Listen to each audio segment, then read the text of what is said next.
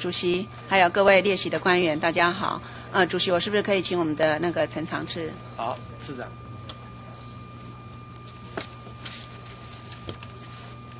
委员长。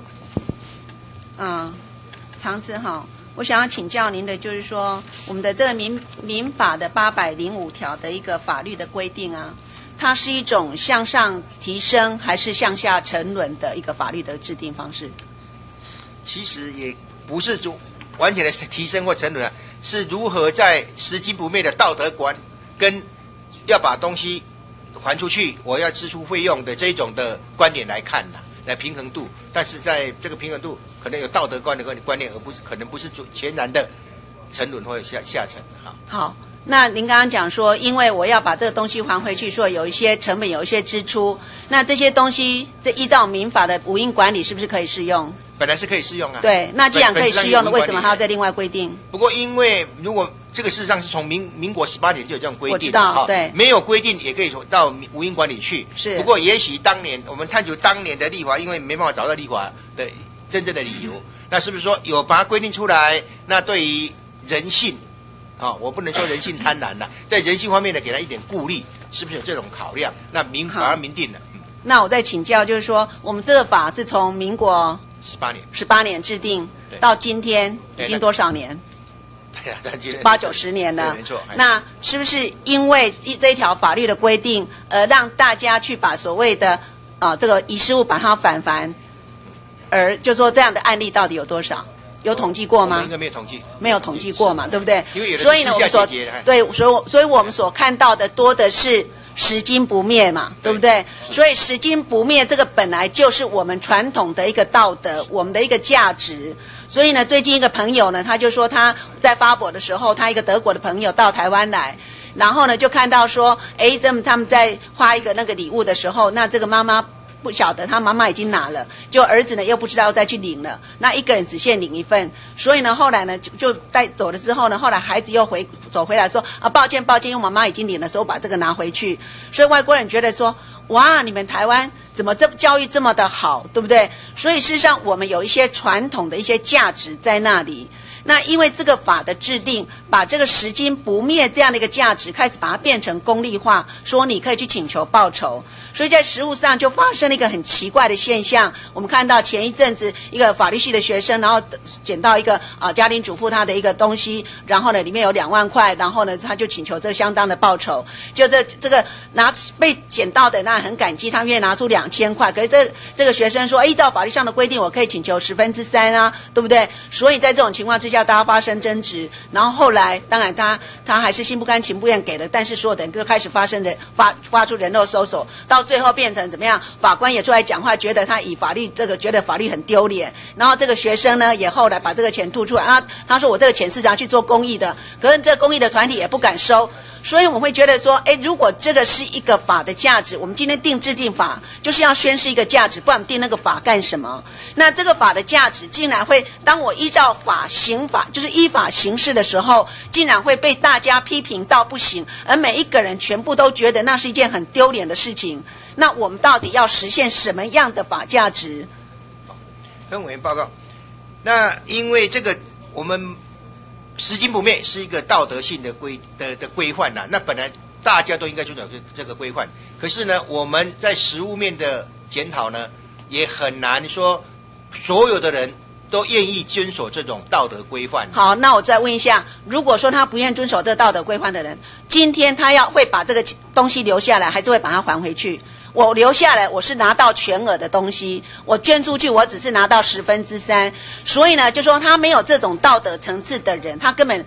侵占遗失物的人多的是啊，你根本找不到嘛，对不对？所以呢，在这里虽然有法的一个行者的一个规定，说你侵占遗失物，那你找到再说嘛。所以有多少人，其实我捡到我就是不不还回去，你也拿我没辙嘛，对不对？所以今天就是说我会还的人还是会还。那今天会还的，你法律给我这个东西在这里，我可以去行使。可是当我行使的时候，又所有等把我骂到不行。那你这个法到底规定是在干什么？所以说实在的，本席是建议说把这一条删除，八百零五跟八百。百零五零五之一都一起删除。那说实在的，很多我跟很多的人讲，大家都有有所疑虑，包括我自己在内。可是经过办公室大家的讨论，甚至我们看到台大的一个教授，这个陈忠武教授，他也其实也写了一篇的文章，好好的在探讨说这个法的规定，其实当初我们是从德国引进来的，没有错。很多的国家在这个所谓的大陆法系都有这样的一个规定，可是我们要去看到我们这个法。啊，法的这个他们的文化是不一样的。在德国百年的法治，他们所有东西是讲权利义务，跟我们是一个以道德一个立法。这我们有很多的一些传统的价值的东西，而这些东西即使说好，今天时代已经转进展到今天的程度，但是我说我依照法去行使去请求这个东西，要被大家骂到不行。然后呢，连我这个拿钱用我这个依法行使的权利，我把这个钱捐献出去，连被捐献的团体都觉得很丢脸，不敢收。那这知道到底在实现什么样的法价值，非常的奇怪。所以呢，在这个呃学者的意见里面也觉得说，好，今天如果我们定这个法，目的有两个，一个是说荣誉的给付，因为我定了这个，所以会鼓励你来这个啊给付这个东西，说你来，你来把还还。所以呢，我给你就说，因为是一个 owner，所以呢，我给你一个报酬。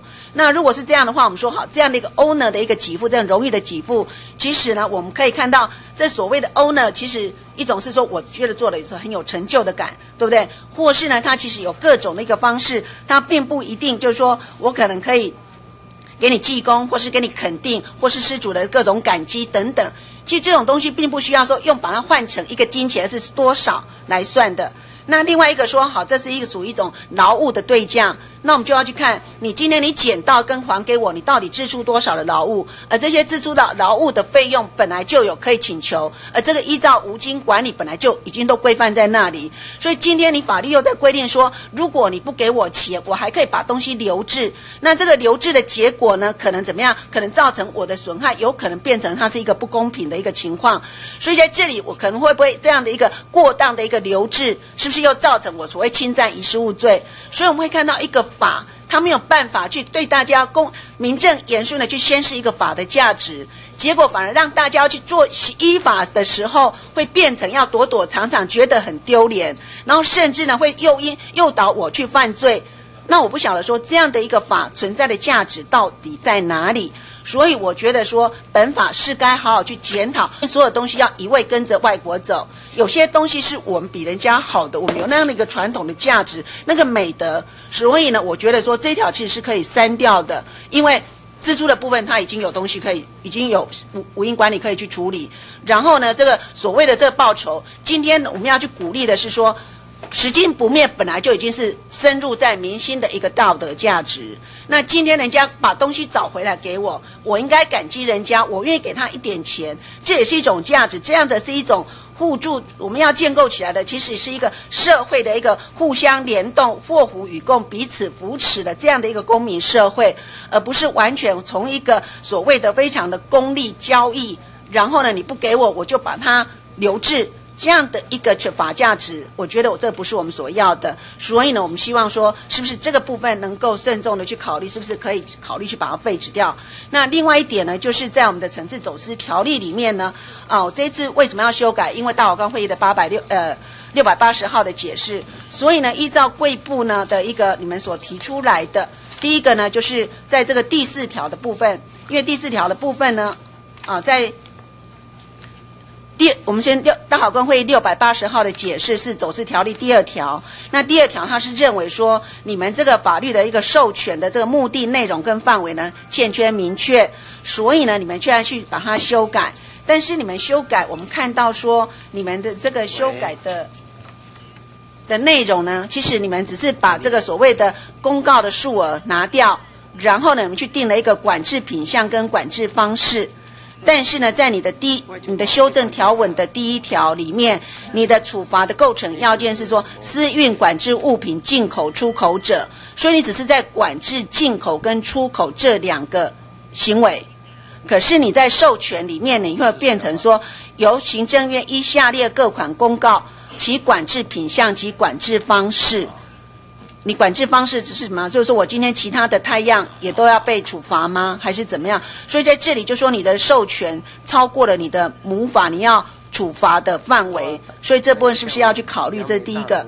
那第二个呢？就是说，好，你在这个里面呢，就说我们看到你在把这个所谓的管制的这些犯罪必要的这个所谓的物品，我们说今天他进口枪炮军火，跟你进口这个所谓的走私进口渔获，在第四项的农业产品，那你进口枪炮、走私军火跟走私渔货或是农产品这两个的可罚性是一样的吗？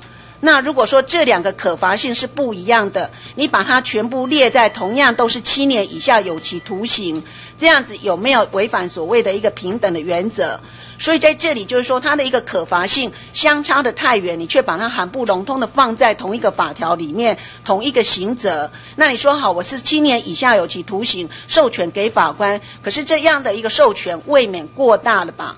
所以在这里我们会看到说，你在这个层次管是，就是你这个第二条的一个规定呢，事实上你并没有依照大法官会议的这样的一个解释，去把它的这个明确性把它定出来，而且就是说。你仍然是通知他可以公告，可是你公告的这个品相，人民它的可进性，我今天我要怎么知道你公告了哪些东西？所以他的人民的可进性如何也看不出来。所以在这个部分呢，我们会建议说，这个部分是不是能够啊，建议贵院呢是不是撤回，再重新好好的去拟定，依照大法官会议解释的精神好好拟定。那另外一个就是说，在这个呃，依照你们是依照两公约的所谓的。废除死刑的这个，就是说对不能够制定死刑的这个部分，你们去修改了。但是呢，我们看到说，在你们这个这次修改里面呢，其实你们只是把这个呃所谓的惩治条例的第四条，但是呢，我们还有所谓的处死刑的条文，不是只有你们在这个呃所谓的这个国家报告里面提到的刑法的三百四十七条跟惩治走私条例，其实里面还有各种的陆海空军刑法。好，还有刑法的一百零三条的通谋开战，呃，开战通谋开战端罪，还有一百零四条的通谋丧失领土罪，还有陆海空军刑法第十七条、十八条的立敌罪，还有呢第二十四条的投敌罪等等。那说实在的，这些都不是因为使用暴力的罪行而造成人家死亡的这样的一个重大的所谓的犯罪的行为，它其实比较牵涉到的其实是一种财产的犯罪，或是呢所谓的政治犯罪。那这种政治的犯罪，其实依照两公约的规定，或是它的一般的一个解释里面，是不能够再制定死刑的。所以呢，贵部呢是不是也能够就这个部分能够通盘的去检讨，把这个部分呢一并送进来？委员报告。关于死刑部分的话呢，我们有确实有充分检讨。那我们把资料会后再跟委员报告，好吧？我们把过去的资料，那包括法部跟 包括各部会。那至于第二条的 进口出口，我们是有规范的啦。不是说所以用不是用那个管制方式就来处罚。那你所谓的管制方式是什么？管制方式将来定的时候是说你应该到什么程度，应该用什么方保管来做查核等等这些。对，那如果说他没有依照那个管制方式，就构成这个条呢？他只要没有进出口，就不就不属于这个法则。所以你这样的一个规定可能是有点有点怪吧？物品最主要针对物品呢。对，所以你要公告的是物品嘛，而不是它的管制的方式。那因为物品有的进来看不到啊，怎么样？我们要给他一个可以查核的机制啊。有了，现在那个那个是配套的部分了。啊，最要是物品，物品它有进出口，啊，就跨国境这个进进出口。好，你们把你们这所谓的管制的方式的这个部分，你们那个提出来，这样子。